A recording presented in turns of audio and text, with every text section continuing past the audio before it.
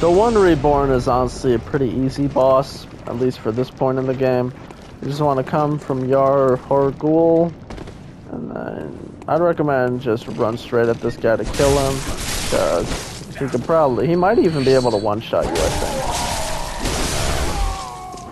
To get to the shortcut, you can watch the video in the description. As usual, just send the elevator up. This guy I would recommend killing him if you can, just so you don't get shot on the way down. And then with these enemies, you can kill them, but it'll take an extra bit of time, so I'm not gonna bother. You'll just want to keep walking, and then once you get over here, you're gonna want to be swerving because of the enemies, but you want to take a left. Oh wow, I don't understand how I got hit by that, but you should just be able to keep on running. Stay to the left. Once you get around here, you want to sort of hide behind the lampposts maybe. And then just be swerving.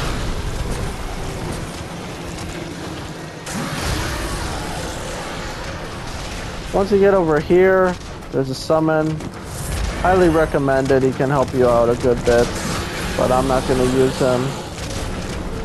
And then come on through here.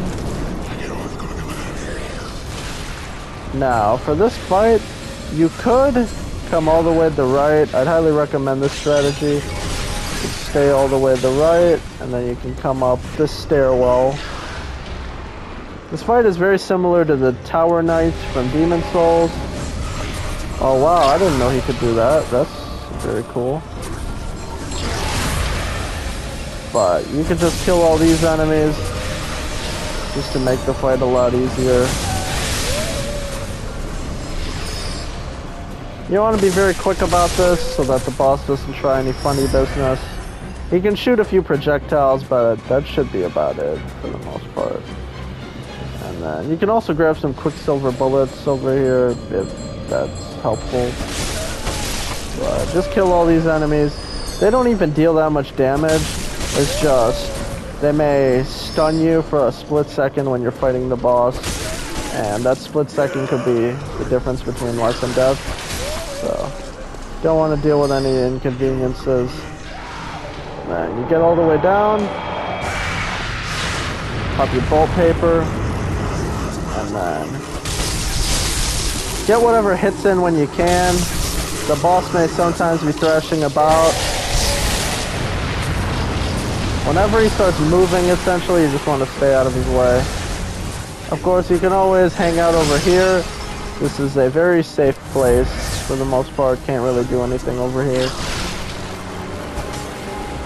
Whenever he lifts his arms, that's when you want to be careful. But there'll be a lot of times in this fight where he just has his limbs sort of chilling. Such as right now. Whenever he's sort of chill, you just want to be whacking at him.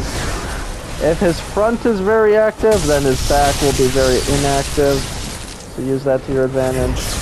And then when his back is active, you just want to go to his front. Just sort of go in circles around the fight, and it'll be very easy for you. When he does that, you want to stay away from him. And when he does that explosion attack, you'll hear it coming, you want to avoid that. You can always hide behind these pillars very effectively, as you can see. And he'll sometimes do an attack where he just summons a bunch of corpses you can avoid it for the most part. This fight is more annoying than it is difficult. As you see here, you can break his limbs after a good while, just like with Dark Beast Carl. You just want to move on to the next limb. If you have a Beast Blood pellet, it'll make the fight a lot easier. And then just keep on whacking. By the time you've broken all his limbs, he should be dead, especially if you have your bolt paper active.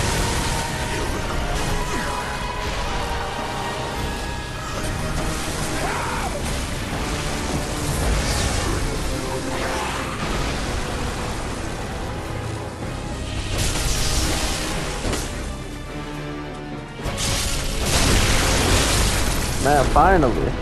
Okay, so once you've gotten around here, you just want to start whacking at his main body. Huh. That was very quick. As usual, get away from that. Attack his next limb. So the limbs you can break are obviously his big limbs, and then you can also hit his head as well as his sort of belly.